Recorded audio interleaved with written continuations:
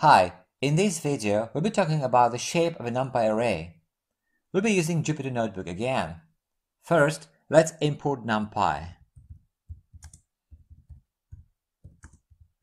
as np. Now, the shape of an array is a tuple of the numbers of elements in each dimension. Have a look at the following array. A equals np array 1, 2, 3, 4, 5, 6,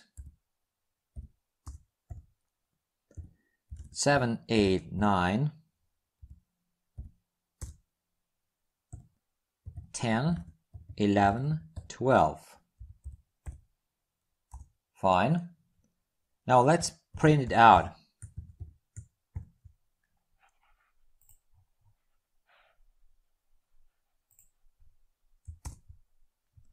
Here's our NumPy array. As you can see, this is a two-dimensional array. Now, this array has four rows and three columns. So the shape is 4 by 3. We can use the shape method to check the shape of the array. np shape of A 4 by 3. Now let's have a look at some arrays with different numbers of dimensions. Here we have a three-dimensional array.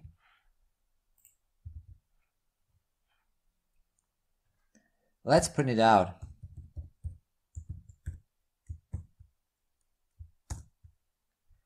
Fine.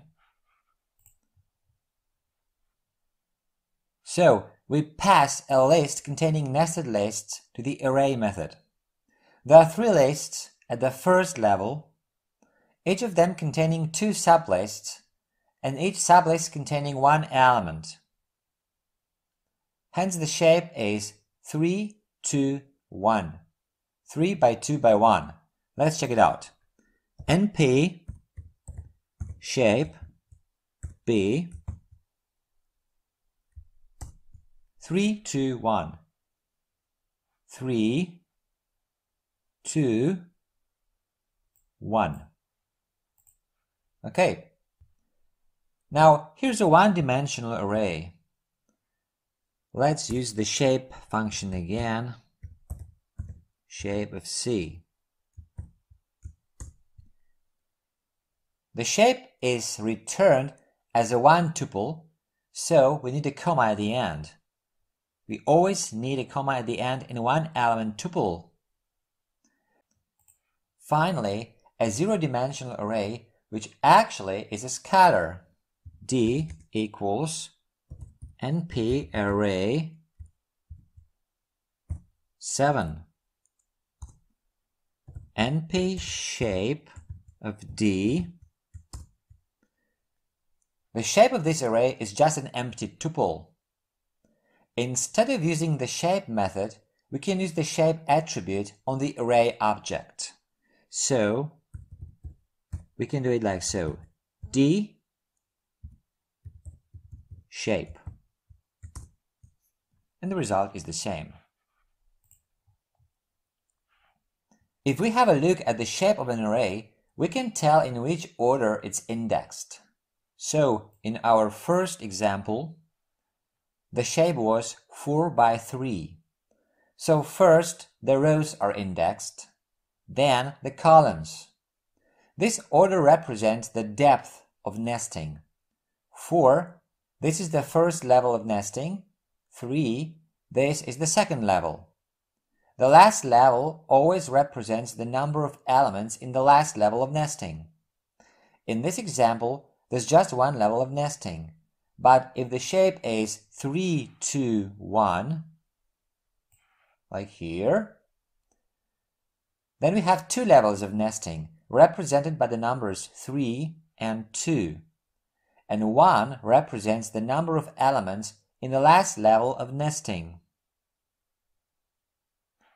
provided we maintain the total size of an array, we can easily change its shape. Let's have a look at our first example again. Over here.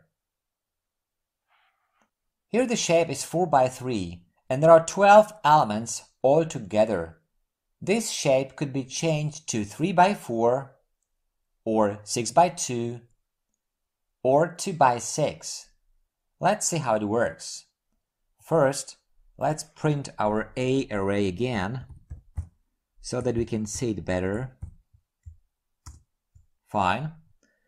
And now let's change the shape to three rows and four columns. So A shape equals 3 by 4. And now let's print our array again. So it's changed. Now we have three rows and four columns.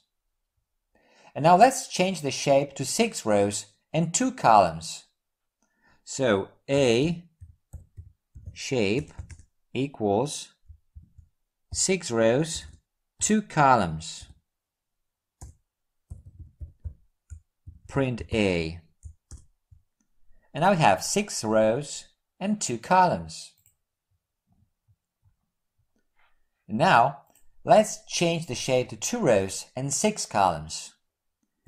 A shape equals two rows, six columns. Print A. Yeah, two rows, six columns. If we try to change the shape so that the total number of elements would differ, we get a value error. So let's try to change the shape of this array to 4 by 5. A shape equals 4 rows, 5 columns. Now we would get 20 elements, but there are only 12. So let's try to print it out. This is what we get. Cannot reshape array of size 12 into shape 4 5. We can even change the number of dimensions provided the total number of elements is maintained. Here's our C array which is a vector, a one-dimensional array. And let's print it again so that you can see it better over here.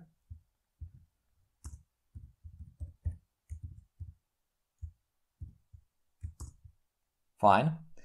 And now let's reshape it to a two-dimensional array. So, C shape equals 5 rows, 1 column. Print C, and this is what we get. Now the number of dimensions is changed to 2. Now we have two dimensions, and the shape is 5 rows by 1 column. Or Or let's change the shape to 1 by 5. So C shape equals 1 by 5. Print C. And now we get something like this. One row, five columns. Now in the next example we see how the number of dimensions can be reduced. Here's our original B array. Now let's print it out.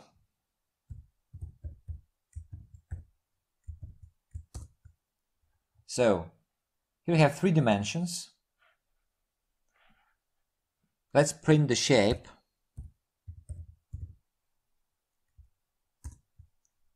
Three by two by one. Now let's reduce the array to two dimensions. All we have to keep in mind is that there must be six elements altogether. So this should be possible. B shape equals six rows, one column. Print B. Yeah. Now we have just two dimensions. Six rows, one column. And even to one dimension. B shape equals 6 comma. This is a tuple with one dimension, 6. And let's print it out. And now we have just one dimension. Another method we can use to reshape an array is the reshape method. Here's how we can use it. First, let's define a NumPy array like this. Let's print it out. Print A. So this is our A NumPy array. And now let's create another array using the reshape method. B equals A reshape 3 by 4. Print B. Now, this array is reshaped to have three rows and four columns. And now let's do something like this. C equals np arange 20 which generates 20 numbers reshape 4 by 5 and these numbers will be arranged in 4 rows and 5 columns. Print C and here it is. 4 rows 5 columns 20 numbers altogether from 0 to 19 or have a look at this. D equals NP arange 36 reshape 2 by 3 by 6 print D